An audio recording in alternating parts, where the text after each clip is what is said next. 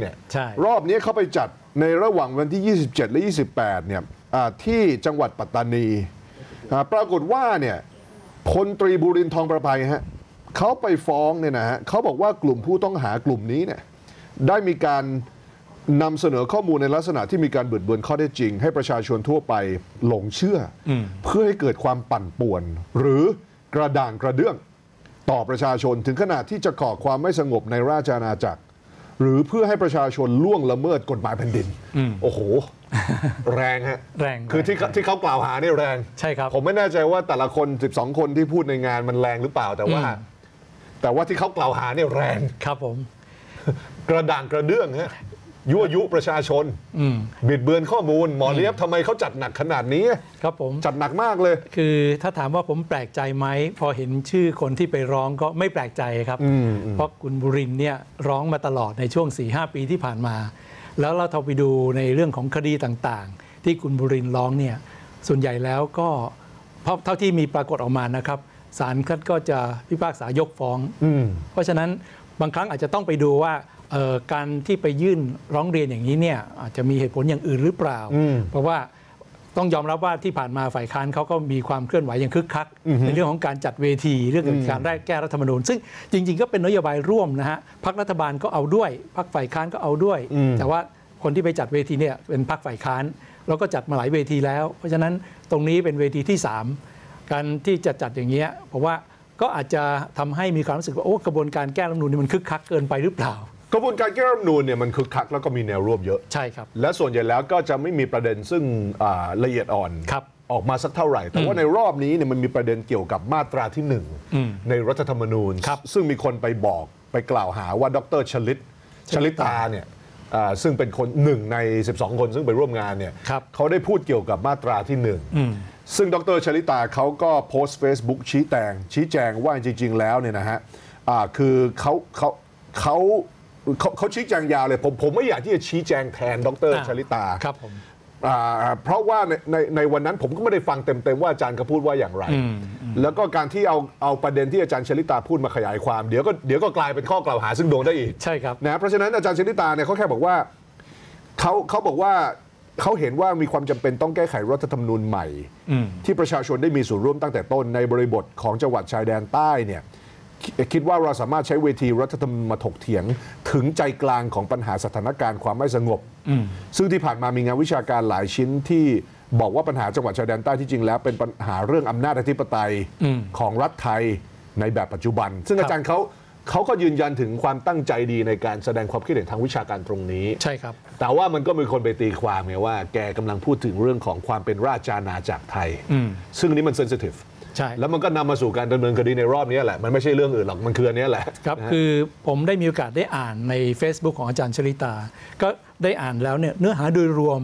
คือเป็นการอภิปรายพูดด้วยความเป็นห่วง เป็นใยในการแก้ไขปัญหาภาคใต้ซึ่งมันก็เกิดมา 15 ปีแล้ว แล้วก็มีความพยายามจะแก้ปัญหาได้หลาย ๆ วิถีทางแล้วมันก็ยังไม่สำเร็จสักทีหนึ่งแล้วอาจารย์ก็คิดว่าเรื่องของรัฐธรรมนูญก็คงเป็นปัจจัยหนึ่ง ที่ ทำให้เนี่ยเรื่องของการแก้ไขรัฐธรรมนูญเอ่อการแก้ไขปัญหาภาคใต้เนี่ยมันไม่ไม่ประสบความสำเร็จในช่วงที่ผ่านมานั้นคิดว่ามันควรจะมีการระดมความเห็นอย่างกว้างขวาง เท่านั้นเองอันนี้ผมว่าเรื่องมาตราหนึ่งที่มีการพูดถึงเนี่ยเข้าใจว่าเป็นเหมือนพูดเป็นเรื่องว่าเออสามารถจะอภิปรายเป็นการอาจจะมองว่ามีประเด็นนี้ไหมซึ่งไม่ได้ชี้ไปชัดว่าจะต้องแก้หรือไม่แก้อืมผมคิดว่ามันมีข้อแตกต่างระหว่างการที่สมมุติว่าทั้งเวทีเนี่ยสิคนเนี่ยครับอ่า แรงทั้งหมดอืมแล้วก็พูดในเรื่องที่เซนซิทีฟหมดเลยทุกคนครับอ่ากับการที่เขาพูดกันเรื่องของการแก้ไขรัฐธรรมนูญ เสร็จแล้วมีนักวิชาการคนเดียว ซึ่งพูดเกี่ยวกับมาตราซึ่งคนอาจจะมองว่าไม่ควรพูดอืมแล้วแล้วผมคิดว่าการที่ดำเนินคดีกับทั้งหมดทุกคนที่ร่วมงานเนี่ยอื มมันเกินไปหน่อยหรือเปล่า คือคือหมอเลี้ยบเข้าใจป่ะว่าเข้าใจบางทีเนี่ยเข้าใจคุณไปร่วมงานหรือแม้กระทั่งคุณจัดรายการเนี่ย คุณไม่สามารถรับผิดชอบกับการใช้คำพูดของอีกคนหนึ่งได้ ใช่ คุณรับผิดชอบแค่ปากตัวเอง ครับผม เพราะฉะนั้นบนเวที 12 คนเนี่ยเหวียงแหดำเนินคดีอย่างนี้เนี่ยที่พลตรีบุรินทร์ได้ได้ทำเนี่ยมัน มันมากไปหน่อยไหมหมอเลียบคือถ้าถ้าถ้าเหวียงแหอย่างนี้ใครมันจะกล้าร่วมงานเสวนาเรื่องรัฐธรรมนูญนะอืมสมมติคนหนึ่งพูดอะไรที่เกินเลยไปหน่อยอะผมต้องรับผิดชอบด้วยเหรอ มันเกี่ยวอะไรกับผมอะอ่าผมไม่ใช่ดรชลิตาเนี่ยเห็นด้วยใช่ไหมคือการเหวี่ยงแหเนี่ยมันเหมือนกับเป็นความพยายามที่จะเอาใครทำให้สร้างความหวาดกลัวอ่าว่าต่อไปเนี่ยแน่อย่านอนมาร่วมแน่นอนามันก็เหมือนอย่างหลาย ๆ กรณีก่อนหน้านี้ก็เคยมีคนที่บอกว่าเขาไม่ได้ไปร่วมในงานนั้นเลยอย่างการชุมนุมอย่างเงี้ยที่ตรงแถวมาบุญคลอง ไม่ได้ไปเลยในฐานะแกนนำเขาไปยืนดูไปยืนดูเฉยอ่าอ่าๆแล้วยังโดนด้วยไม่ได้ไม่ได้เออคือแต่ว่าคือในกรณีอื่นๆเนี่ยอาจจะได้ผล แต่ถามว่าในกรณีนี้ซึ่งส่วนใหญ่เป็นหัวหน้าพักการเมืองระดับอย่างนี้ประสบการณ์ทางการเมืองขนาดนี้ ถามว่าเขากลัวไหมผมว่าเขาไม่กลัว แล้วอย่างล่าสุดที่มีข่าวว่าคุณวันนอร์จะไปแจ้งความกลับด้วยซ้ำไปครับอะไรทำนองนี้ หรือถ้าหากประเด็นอย่างเงี้ยผมว่าคงจะได้มีการเอ่ออภิปรายกันในที่ประชุมของสภาแน่ ครับนะฮะจริงๆแล้วคือคือประเด็นเนี้ยมันมัน ในเวลาจัดเวทีใหญ่ๆเนี่ยมันจะมีความหลากหลายในผู้เข้าร่วมงาน ใช่ครับ แล้วความคิดมันก็จะหลากหลายอืมมันไม่ได้แปลว่ามันมีมติใช่จากผู้ร่วมงานว่าเฮ้ยไปแก้มาตรานี้กัน ใช่ ผมคิดว่ามันอ่าคือฝ่ายความมั่นคงก็ต้องเข้าใจ แล้วก็อย่าตื่นตระหนกไปจนเกินเหตุเหมือนใช่กันครับใช่ครับ ใช่ไหมเห็นด้วยคสรับมมุติว่ามีคนไปนั่งโอ้โหแจกอาวุธยุทโธปกรณ์กัน แล้วก็บอกกันว่าเฮ้ยสู้ อย่างนั้นเนี่ยเขาเรียกว่า insurrection อย่างนั้นเนี่ยมันเป็นการ ใช่ไหมตั้งกลุ่มกบฏขึ้นมาเพื่อเพื่อแบบที่ในหลายประเทศก็มีใช่ อย่างอย่างนั้นมันก็นำมาสู่การดำเนินคดี แต่ว่าคือคือแต่แต่ว่าอย่างนี้แสดงว่าเออรอบนี้เนี่ยรัฐบาลปล่อยให้มีการดำเนินคดีใช่ไหมผมอ่านดูเนี่ยฝ่ายที่สั่งเนี่ยพพลโทพลโทบุรินทร์พลตรีบุรินทร์เขาก็บอกคือไม่ใช่ประยุทธ์ประวิตรสั่งอืมพลเอกประวิตรก็บอกว่าไม่ทราบ อืม คำสั่งมาจากกอรมนส่วนหน้าของอาก็คือทัพภาคสี่ภาคสี่ ไม่ใช่มาจากบิ๊กตู่บิ๊กป้อม อันนี้คือในข่าวนะใช่ BBC นะใช่อ่าอ่าคืออย่างเงี้ยผมว่าเป็นเรื่องที่น่าเป็นห่วง เพราะว่าเพ่อจริงเนี่ยในเรื่องของกอรมนเนี่ยในอดีตตอนที่มีความขัดแย้งในบ้านเมืองเนี่ยกอรมนเนี่ยจะเป็นคนที่เขาวิเคราะห์ปัญหา แล้วก็นำมาสู่การนำไปสู่การแก้ไขปัญหาที่มันสอดคล้องกับสถานการณ์ แต่ถ้าวันนี้กอรมนมีท่าทีอย่างเนี้ยอันเนี้ยน่าเป็นห่วงว่า ทำให้การมองปัญหาเนี่ยมันอาจจะไม่รอบด้านหรือเปล่าและจะนำไปสู่ทำให้เกิดความขัดแย้งใหม่ ซึ่งผมว่าไม่น่าจะดี โอเค โอเคนะฮะเรื่องนี้เดี๋ยวเราดูความคืบหน้าของแต่ละคนซึ่งอ่าถูกพลตรีบุรินทร์พลตรีบุรินทร์นี่หายไปจากข่าว ก็กลับมาอย่างยิ่งใหญ่นะฮะครับแต่ละครั้งอ่าเรื่องของเดี๋ยวนะตกลงแล้วพรบงบประมาณเนี่ยครับเราจะได้เห็นไหมฮะ คือคือผมอ่าเป็นห่วงนายกรัฐมนตรีอืมเพราะว่าถ้าเกิดงบประมาณมันไม่ผ่านเนี่ยนะฮะ คุณก็ไม่มีงบประมาณใช้นะแล้วมันมันคือคุณก็ต้องใช้งบปีเก่าไปพลางก่อน อืมมันจะเสียหน้า อืมมันจะเสียหน้าในในแบบที่เขาเรียกมันมันมันกลับมันไม่กลับมาเหมือนเดิมอะอืม ใช่ไหมหมอเลียบใช่ครับ คืองบประมาณเนี่ยมันเป็นพรบที่ต้องผ่าน ไม่ผ่านไม่ได้ ครับ โดยเฉพาะตอนนี้มันเป็นสถานการณ์พิเศษก็คือว่ามันมาถึงเดือนตุลาคมแล้ว ใช่ ธรรมดาวาระหนึ่งงบประมาณนี้มันจะเข้าประมาณเดือนมิถุนายน ปกติเรื่องพรบงบประมาณมันไม่อยู่ในข่าวนะ ไม่มีคือชาวบ้านก็สนใจแป๊บหนึ่งแล้วก็มันผ่านไป ใช่ใช่แต่เพราะว่าครั้งนี้มันเป็นล่าช้ามาแล้ว ถ้าหากยิ่งล่าช้าออกไปนี่อาจจะเป็นปัญหาพอสมควร แต่ว่าเห็นทางโฆษกพรรคเพื่อไทยเขาออกมาพูดแล้วว่าเขาเองเนี่ยไม่ได้ตั้งหน้าตั้งตาจะค้านอย่างเดียว อะไรถ้าหากเป็นงบประมาณที่เป็นประโยชน์เนี่ยเขาก็ยินดีสนับสนุน แต่แน่นอนถ้ามันมีประเด็นบางอย่างที่การใช้งบประมาณอาจจะไม่เหมาะสมเขาก็จะอภิปราย แต่ผมผมเดานะฮะคือการอภิปรายในวาระหนึ่งกลางเดือนตุลาคมเนี้ยสุดท้ายแล้วผมว่ายังไงยังไงเนี่ยมันก็คงผ่านแหละอาจจะผ่านแบบถูไถถูไถไปพอได้อะไรทำนองนั้น คงไม่มีถึงขนาดที่บอกว่าจะไปสะดุดหยุดตรงนั้นแน่นอน แต่มันแฟร์ไหมที่ท่านนายกรัฐมนตรีเตือนเรื่องเนี้ยว่ามันเป็นเรื่องที่เราทุกคนควรจะร่วมกันรับผิดชอบ คือหมายความว่าไม่ใช่ฝ่ายค้านเล็ง แต่ที่จะอ่าถล่มรัฐบาลงัดเอาอาโครงการต่างๆ ซึ่งเป็นโครงการในอดีต จากงบประมาณปีก่อนหน้าอืมใช่ไหมที่มีการอนุมัติให้มีการสร้างสร้างและซื้ออาวุธยุทโธปกรณ์ต่างๆเนี่ยคือสร้างบ้านพัก ของพบทรหรืออะไรเนี่ยอืมเอาเรื่องต่างๆ เหล่านั้นในอดีตอะในอดีตถึงปีที่แล้วอะไรเงี้ยเอองบอดีตใช่ไหมมันเออสร้างบ้านพักพบทรตอนเนี้ยเอาประเด็นต่างๆเหล่านั้นมาผสมกับการวิจารณ์เรื่องงบประมาณฉบับนี้เนี่ยอืมมันมันทำได้ไหมหมอเลียบสมมติทำได้ฝ่ายค้านยกยกมือในสภาบอกว่าเฮ้ย 112 ล้านเนี่ยบ้านพักพบทรเนี่ยหรูหราจังเลยเนี่ยเออเอาเรื่องนี้เข้ามาเสียบได้ไหมในขณะที่วิจารณ์พรบงบประมาณฉบับนี้ปัจจุบันปี 63เนี่ยคือผมว่า ในแง่ของงบประมาณเดิม อ่า ถ้ามันไม่มีงบผูกพัน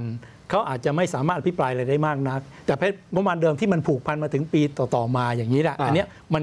อยู่ในประเด็นที่สามารถอภิปรายได้อยู่แล้ว แต่อย่างที่บอกว่าคือการมีรัฐบาลยิ่งถ้าบอกว่านี่เป็นรัฐบาลชุดใหม่ ถึงแม้จะมีนายกรัฐมนตรีคนเก่าก็ตามเนี่ยแต่มันมีพักร่วมรัฐบาลมากมาย ถึงเวลาเนี่ยมันก็ต้องมีการทบทวนเรื่องงบประมาณในดั้งเดิม ที่ผ่านมางบประมาณที่ใช้ไปอาจจะไม่เกิดประโยชน์คุ้มค่า พักร่วมรัฐบาลจะมาขอปรับเปลี่ยนอันนี้ก็เป็นเรื่องที่เป็นไปได้ อย่างเมื่อก่อนเนี้ยพอมีรัฐบาลใหม่มาจากพักการเมืองที่เป็นแกนนำใหม่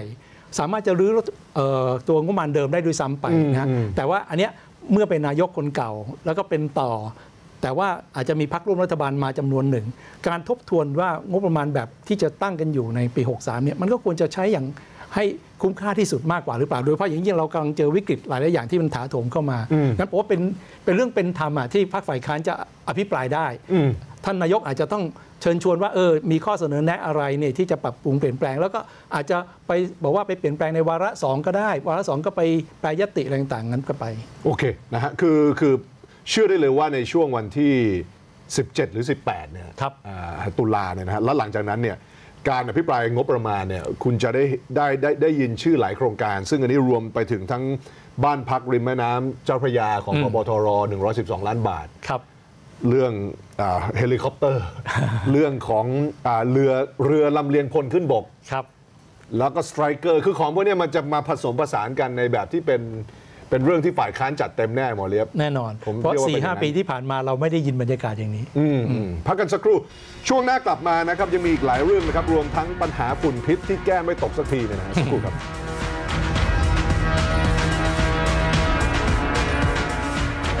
สิงห์คอร์ปอเรชั่น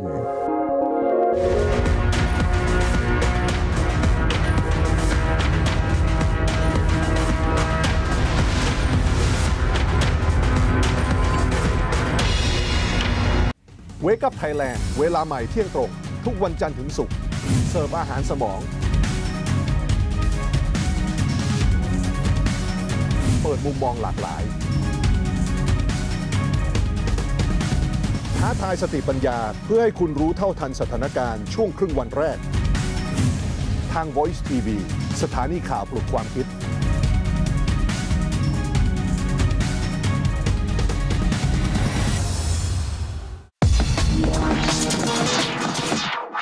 ปีกซ้ายหรือปีกขวา จะก้าวหน้าหรืออนุรักษ์ จะฝักใฝ่ประชาธิปไตยหรือให้ใจอำนาจนิยม หาคำตอบทุกปมความขัดแย้งใน The Daily Dose โลกการเมือง ทุกวันจันทร์ถึงศุกร์ 20 นาฬิกาถึง 20 นาฬิกา 30 นาที ทาง Voice TV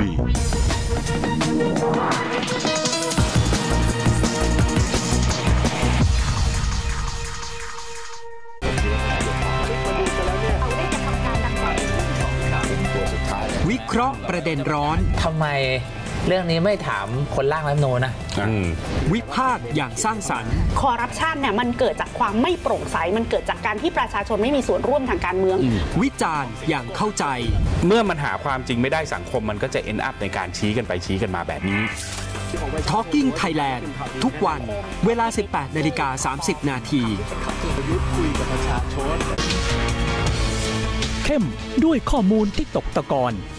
เราเนี่ยไม่คาดหวังแล้วเราก็จะดูว่าเขาจะเป็นยังไง คมด้วยมุมมองที่ตกผลึก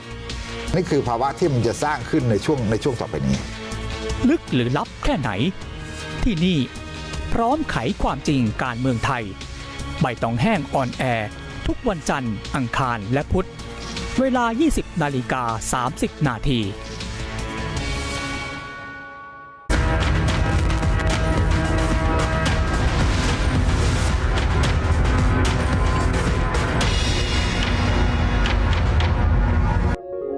สิงห์คอร์ปอเรชั่น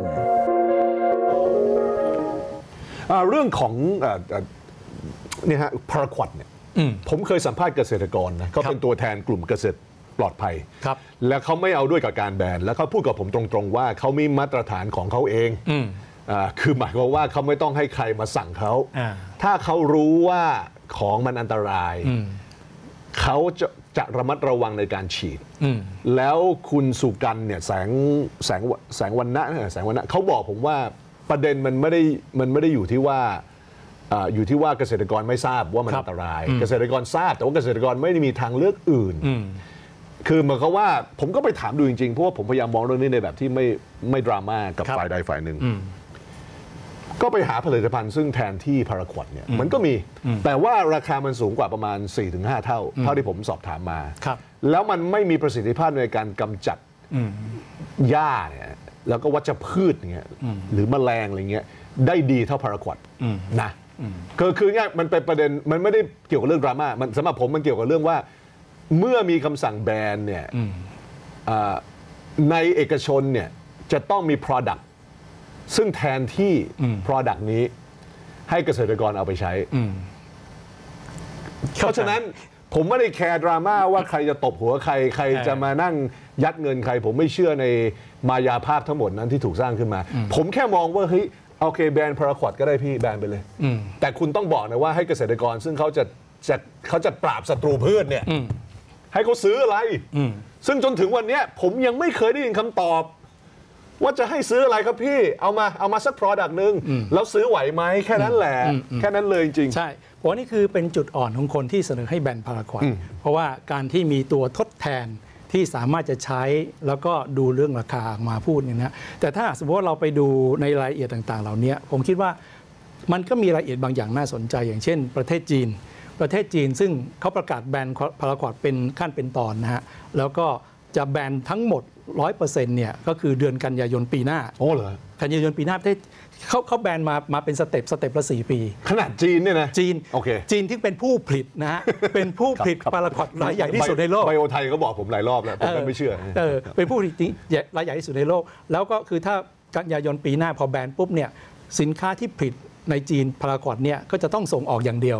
ในจีนไม่ใช้ โอ้เล่นคำอย่างนั้นเลยคำถามก็คือว่าแล้วจีนใช้อะไรล่ะ อ่าถูกอะจีนใช้อะไรอ่างั้นผมว่าเนี่ยคนที่อยู่ฝั่งที่แบนพารากอดเนี่ยต้องรีบไปศึกษาซะ เพราะว่าจีนเขาแน่นอนเขาต้องมีทดแทนแน่ หมอเล่มคืองี้ประเด็นที่ผมเล่นไปก็คือว่าเขาศึกษากันดีแล้ว คืองี้มันมีอีกมุมหนึ่งที่คือผมไม่เชื่อในว่ามันมีฝั่งทุนที่หนุนให้ใช้พารากอดอ่าเพราะไม่มีพารากอดมันถูกแต่ผมเชื่อว่ามันมีบริษัทที่พร้อมนำเข้าไอ้ของใหม่เออที่จะแทนที่พาราควอดอยู่ ซึ่ง สำหรับผมผมไม่แคร์ถ้ามีบริษัทเอกชนได้ผลประโยชน์ครับจากการแบนพาราควอดแล้วคุณจะนำเข้าของใหม่มา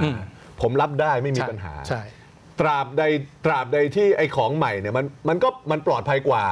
แล้วมันราคามันโอเคครับผมคิดว่าผมผมไม่เอาพูดง่ายๆผมไม่สนใจเลยว่ามันจะมีสมมติมีทุนที่มันหนุนให้แบนพาราควอดแบนก็ได้เออแต่ว่า Product ใหม่ก็ปลอดภัยกว่าเออ แล้วราคาไม่แพงมากก็โอเค แต่ว่ามันต้องมีโซลูชันต้องมีต้องมี solution โซลูชันคืออย่างพาราควอตเนี่ยถามว่ามันมีทุนใหญ่ไหมจริงๆเนี่ยพาราควอตเนี่ยมันมีบริษัทที่ผลิตเยอะแยะมากเยอะมายมันเยอะมันไม่ได้ถูกมีบริษัทมันถูกเดียวแล้วอะแล้วมันถูกแล้ว เพราะฉะนั้นแต่ว่าถามว่ามันมีปัญหาสุขภาพจริงไหมจริงอ่าแล้วก็โดยส่วนใหญ่เนี่ยมีคนตาย แต่ว่าตายจากอะไรไหมกินยาพาราควอตฆ่าตัวตายบ้าจริงโอ้คือกินค่าตัวตายๆกินฆ่าตัวตาย นี่เป็นยาฆ่าตัวตายที่ ได้รับความนิยมก็มากมันมันมีไว้ฉีดฆ่าหญ้าฆ่าแมลงมันไม่ได้แล้วมีไว้กินอะมันไม่มียาแอนติโดดคือเรียกว่าเข้าไปในโรงพยาบาลเนี้คือเรียกว่าตายเกือบร้อยเปอร์เซ็นต์เพราะฉะนั้นน่ากลัวน่ากลัวน่ากลัวมากน่าอะกลัวงั้นงั้นงั้นงั้นแสดงว่าจีนเขาแบนเนี่ยเขาเห็นถึงไอ้ภัยร้ายต่างๆ ใช่ เขาก็มองว่าระยะยาวประเทศเขาต้องมียายาปราบศัตรูพืชยาฆ่ายาฆ่ายาที่ดีกว่านี้ใช่ อ่าโอเคโอเค งั้นผมคิดว่าจีนเนี่ยเขาต้องมีทางออกแน่ แล้วทางออกเนี้ยผมว่าราคามันก็อาจจะต้องสามารถแข่งขันได้พอสมควร แล้วก็ มันอยู่ที่นโยบายของรัฐบาลด้วย อย่างถ้าหากรัฐบาลบอกว่าต้องการแบนพาราควอดคือหนึ่งคือแบนหรือถ้าบอกว่าช่วงแรกจะเอ่อควบคุมอาจจะประเภทขึ้นภาษีได้ มันเหมือนกับตอนกรณีของบุหรี่ ถ้าบอกว่าเอ่อรัฐบาลต้องการที่จะควบคุมการบริโภคบุหรี่คุณขึ้นภาษีเอาขึ้นภาษีเอา หรืออย่างไอ้ตัวทดแทนเนี่ยถ้าหากบอกว่าต้องการส่งเสริมมันก็อาจจะมีการชดเชย มีการแบบภาษีศูนย์เปอร์เซ็นต์หรืออะไรต่างๆก็ได้ถูกคือคือในมองในมุมหนึ่งก็คือว่าอ่าคือคือถ้าเกิด ถ้าเกิดมีทางเลือกที่ดีกว่าสำหรับเกษตรกรที่เขาไม่ได้ต้องการจะปลูกแบบออร์แกนิกอ่าอ่าสิทธิ์ในการแบนเนี่ยก็ก็ก็มีไม่ไม่มีใครปฏิเสธ ผมคิดว่า แต่ว่าอ่าแต่ว่ากลายเป็นว่า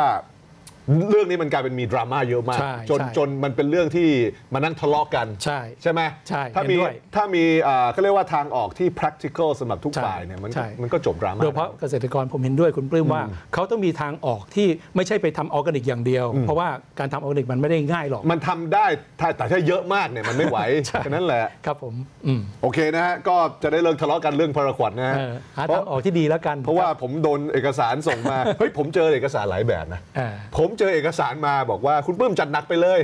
ไม่ต้องไปกลัวนะฮะโอเคอืมเออแต่ว่าเรื่องหนึ่งซึ่งสงสารนายกเฮ้ยผมผมผมไม่ผมไม่ได้มีหน้าที่เป็นโฆษกใครนะเออแต่ประเด็นมันคือว่า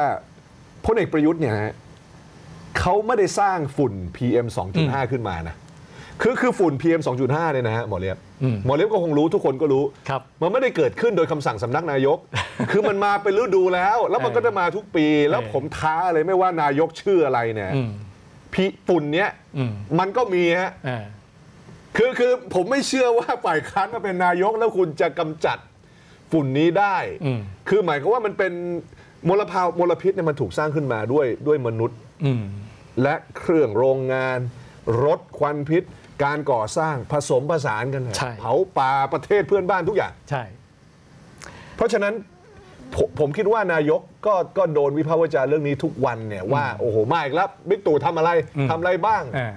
อันนี้ก็ผมก็รู้สึกเห็นใจแกเหมือนกันเข้าใจ ทำอะไรไม่ได้ไง แต่ว่ามาเป็นนายกรัฐมนตรีมันก็ต้องอย่างนี้แหละครับ เพราะว่าเขาไม่รู้จะหาใครรับผิดชอบ โดยเฉพาะอย่างยิ่งคือ ในกรุงเทพมหานครคือจริง ๆ เรื่องฝุ่น PM 2.5เนี่ยไม่ได้มีแค่กรุงเทพนะ มีบางช่วงเนี่ยเกิดที่เชียงใหม่โอเคแต่ถามว่าเป็นข่าวไหมไม่ค่อยเป็น แต่บางทีเชียงใหม่มันมาจากประเทศเพื่อนบ้านนะมันมันมันคือมันพัดมาก็มีเหมือนกันนะ ผมได้ข่าวว่ามันมีเรื่องของกะควันจากประเทศอื่นอันนั้นอันนั้นส่วนหนึ่งอ่าๆไอ้อีกส่วนหนึ่งคือเกิดจากการเผาป่าด้วยเผาป่าเนี่ยแหละ เออแล้วไปดูไปดูในแง่ของเอ่อภูมิศาสตร์เนี่ยจะเห็นว่าพื้นที่อย่างจังหวัดเชียงรายเนี่ยเขามีการกระบวนการที่ดูแลเรื่องการเผาป่าอย่างนี้ปรากฏว่า จุดของการเกิด การเผาป่าในเชียงรายนี่น้อยมาก อ่าฮะ แต่เชียงใหม่นี่ยังเยอะอยู่อ่า อ่างั้นผมว่าคือในแง่ของสาเหตุเนี่ยมันต้องไปวิเคราะห์ แต่อย่างที่ตะกี้เรียนคือว่า พอเกิดที่อื่นที่ไม่ใช่กรุงเทพเนี่ยอาจจะไม่ค่อยเป็นประเด็นเท่าไหร่ โอเค แต่พอมาเป็นประเด็นแล้ววันนี้ก็ต้องถามหาว่านายกจะทำอะไร แต่ผมเข้าใจอย่างที่คุณปื้มว่าคือว่าปัญหาเรื่องเนี้ยมันสะสม โดยเฉพาะอย่างยิ่งตอนนี้มันมีการปิดถนนเยอะแยะสร้างรถไฟใต้ดินรถแล้วไฟต่างๆ แล้วถามว่าทุก ประชาชนคนไทยเองก็อยากให้สร้างไม่ใช่เหรอคุณอยากเห็นปะการพัฒนาเนี่ยใช่เขาบริษัทพวกนี้เขาก็สร้าง เพราะว่าคุณก็อยากเห็นการพัฒนาถูกต้องมันใช่ไหมเออคือเราเข้าใจทุกคนมีส่วนร่วมอะมีส่วนร่วมเอองั้นตอนนี้คือผมว่าสิ่งที่เขาคงต้องการคือนายก take action บางอย่าง อย่างเช่น เมื่อก่อนนี้เราจะเห็นว่า พอตอนเมื่อต้นปีที่มันมีข่าว PM 2.5เยอะๆเนี่ยเห็นมีมาพ่นละอองฝอยน้ำเต็มไปหมดเลยตามถนนให้ตอนนี้มันหายไปละเออคือทำให้มันต่อเนื่องอะไรต่างๆเหล่านี้ ผมคิดว่าก็จะเป็นส่วนหนึ่งที่ทำให้ชาวบ้านรู้สึกว่าเอ้ยมีคนทำอะไรบ้าง หรืออย่างที่บอกเอ่อมาแจกตัวหน้ากากอะไรต่างๆเหล่านี้ แต่ว่าดราม่าวันนี้ผมว่ายังน้อยกว่าตอนต้นปี ต้นปีนี้แรงกว่านี้เยอะ แต่ก็ต้องเตรียมตัว เพราะว่าเดี๋ยวพอธันวาคมมกราคมมีนา ซึ่งตอนนั้นเป็นช่วงอากาศปิดเนี่ยเดี๋ยวเอาอีกแหละอืมแต่ว่าอ่าเฮ้ยแต่ว่าถ้าถ้าสังเกตดูนะ ไม่ว่าจะเป็นเรื่องกรณีของฝุ่นอ่าฝุ่น PM 2.5 เนี่ยครับหรือเงื่อเรื่องงบประมาณอ่าอ่าของกระทรวงกลาโหมอะไรเนี่ยการซื้อยุทโธปกรณ์หรือการสร้างบ้านพักผบทรเนี่ยครับมันมันมันรุมเร้ามากเลยนะ คือหมายความว่ามันทำให้เรตติ้งนายกเนี่ยดิ่งเหวเลยในแบบที่ในโซเชียลเนี่ยมันมีแต่กระแสวิพากษ์วิจารณ์บิ๊กตู่อะเหมือนกับแก้เรื่องฝุ่นก็ไม่ได้ แล้วงบงบอาอาวุธเนี่ย ที่แต่ละแต่ละเหล่าทัพเนี่ยโอ้โหครับเต็มที่เนี่ยอืม บิ๊กตู่ก็ไม่ห้าม อืม คือมันกลายเป็นเหมือนกับทุกคนก็โยนความรับผิดชอบไปที่นายกรัฐมนตรี อืม มันมันสะท้อนถึงความเป็นขาลงเหมือนกันแม้กระทั่งนายกไปที่นิวยอร์กเนี่ยงาน UN ซะใหญ่โตนะหมอเลียบ พอนายกพลาดเรื่องการพูดเรื่อง Google เรื่องเดียวอะทั้งงานเนี่ยไม่มีใครสนใจเลยว่าทำอะไร อืม ผมก็ไม่รู้จะแก้สถานการณ์ให้นายกรัฐมนตรียังไงอะโฆษกเขาก็ทำไม่ได้นะ คือคือยกตัวอย่างนะผมจะให้หมอเลียบเชิญหมอเลียบคอมเมนต์เรื่องนี้หนึ่งประเด็นก็คือว่าอย่างอย่างอย่างเรื่องล่าสุดเนี่ยนายกเนี่ยพูดเกี่ยวกับเด็กไทย อืม เยาวชนครับ เด็กไทยเนี่ยโตขึ้นมาเนี่ยอ่าโอ้โห คือผมแกแกเล่นหมดเลยไงนายกพูดถึงว่าเฮ้ยคิดวิเคราะห์เป็นไหมนะฮะรักชาติไหมอะไรอย่างเงี้ย อืม มันเยอะมากเลยแล้วสื่อก็ไปพาดหัวว่านายก จวกเยาวชนอืมจวกเด็กอืมยิ่งกับผมอีก คือแบบคือคือมันมันมันแต่ละเรื่องอะมันจะรอดไหมเนี่ยหมอเลียบครับเพราะว่าจวกเด็กเนี่ยนะอย่างที่คุณปลื้มพูดคือเรื่องขาลงเออพอตอนขาลงเนี่ยทำอะไรเนี่ยก็จะขวางหูขวางตาไปหมด จริงนายกอาจจะให้โอวาทก็ได้เออฟังอย่างนั้นก็ได้ แต่ว่าพอหากเจอขาลงแล้วเนี่ยสิ่งที่นายกเคยทำแบบเดิมเนี่ยอาจจะต้องปรับเปลี่ยน คือตอนขาขึ้นกับขาลงเนี่ย การแสดงออกอาจจะต้องไม่เหมือนกัน ตอนขาขึ้นเนี่ยพูดอะไรใครก็โอ้แบบชื่นชมยินดี แต่ตอนขาลงพูดอะไรมันก็มีปัญหาไปหมดนะน่าจะต้องพูดให้น้อยลง พูดแบบอย่างสร้างสรรค์โดยที่ไม่ต้องมีการมาแสดงท่าทีอะไรที่มันคาบลูกคาบดอกอีกเลยอืมแล้วตัวโฆษกเองเนี่ยอาจจะต้องช่วยให้มากกว่านี้อืมคือเมื่อก่อนเนี้ยถ้าหากมีอย่างสมัยของพลเอกเปรมฮะก็จะมีโฆษกที่แบบคอยประคับประคองคอยช่วยอะไรเลยที่นายกท่านไม่พูดอะไรเลยครับแต่ครั้งนี้นี่นายกท่านอาจจะต้องระมัดระวัง อย่าพูดเยอะเลยครับโฆษกก็ออกมาชี้แจงว่านายกผมแค่เห็นการชี้แจงผมยังสงสารเลยโฆษกประจำสำนักนายกชี้แจงว่านายกรัฐมนตรีไม่ได้ว่าเด็กไทยทั้งประเทศ คือคือคือซึ่งก็น่าเป็นห่วงอืมเออแต่คนหนึ่งซึ่งเงียบไปเลยนะฮะทิ้งท้ายรายการก็ครับคือท่านร้อยเอกธรรมนัฐครับร้อยเอกธรรมนัฐเนี่ยคำถามคือคือรอดไหมผมว่ารอดอะแล้วล่าสุดมีคนพยายามเปิดประเด็นว่าท่านไปติดคุกที่ออสเตรเลียสองรอบอืมท่านก็ออกมาชี้แจงว่า เฮ้ย ปี 31เนี่ยผมอยู่โรงเรียนในร้อยอืมนี่แสดงว่าท่านธรรมนัฐนี่ยังหนุ่มนะปี 31 เรียนอยู่โรงเรียนในร้อยคือมีคนหาเรื่องอีกว่าร้อยเอกธรรมนัฐเนี่ยติดคุกสองรอบไม่ใช่รอบเดียวอืมจนถึงเวลานี้โฟกัสไปอยู่ที่บิ๊กตู่หมดอืมร้อยเอกธรรมนัฐดูเหมือนว่า ยืนอยู่ท่ามกลางกระแสเนี่ยยืนได้นะหมอเลียบผมนั่งในฐานะนักจัดรายการ ผมรู้สึกว่าร้อยเอกธรรมนัฐเนี่ยรอด แล้วเก่งมาก เก่งมาก คือคือ แต่ว่าใช่ไหมคือว่ากลายเป็นว่านายกขาลงแทนเออ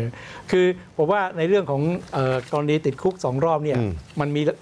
ความเป็นอะไรหลักฐานทางการอยู่แล้วโอเคใช่ไม่ใช่มันคงสามารถที่จะไปพิสูจน์ได้นะครับโอเคแต่อย่างที่บอกว่าเอ่อรอดไม่รอดเนี่ยผมว่าก็ต้องดูกันไป แต่อาจจะต้องบอกว่ามันมีประเด็นอื่น ๆ ที่มาทำให้ประเด็นของคุณธรรมนัฐก็หายไป อย่างที่ประเด็นของท่านนายกหรือเรื่องอื่นๆแต่อย่างประเด็นเรื่องเจ็ดนักเอ่อนักวิชาการกับตัวพัก เจ็ดเอ่อพักไปค้านเจ็ดสิบพักสิบสองคน12คน อันนี้ก็อาจจะเป็นอีกประเด็นหนึ่งงั้นเรื่องคุณธรรมนัฐอาจจะซาไปชั่วคราว แต่ว่าจะจบหรือไม่ผมว่าก็คงคงต้องรอดูอีกสักระยะหนึ่ง ผมไม่แน่ใจว่าจะจบง่ายๆฮะเรื่องของการดำเนินคดี นักวิชาการและนักการเมืองเนี่ยที่ไม่น่าเชื่อก็คือว่าการดำเนินคดี นักวิชาการและนักการเมืองเรื่อง การแก้ไขรัฐธรรมนูญเนี่ยมันกลบข่าวไม่ดีข่าวอื่นอืมที่เกี่ยวกับรัฐบาลเอ่อ ถ้าถ้าเมื่อก่อนนี้เราก็จะบอกเอ๊ะนี่มันเป็นแท็กติกทางข่าวหรือเปล่าอ่าเออให้คนมาด่าเรื่องนี้แทนใช่โอเค และนั่นก็คือรายการสูโพคิดนะครับในคืนวันนี้พบกันอีกครั้งสัปดาห์หน้านะครับ วันนี้ลาไปก่อนครับ สวัสดีครับ สวัสดีครับแต่นี้นะ